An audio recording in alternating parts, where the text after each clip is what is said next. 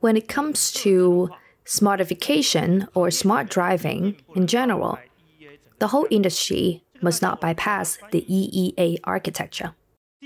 The first generation of EEA architecture is typically distributed, and the majority of current car companies are doing this. The second generation of smart uh, EEA architecture has independent cockpit and driving domains and is currently used by a small number of companies. And the third generation is one that is currently used by our company. We integrate multiple boards into one to achieve the integration of uh, cockpit domain and the smart driving domain.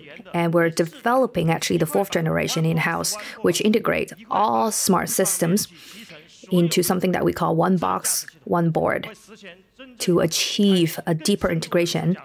Um, and the cost will be reduced by 40% and performance to be improved by 50%. And the next generation uh, of our architecture will definitely support greater performance.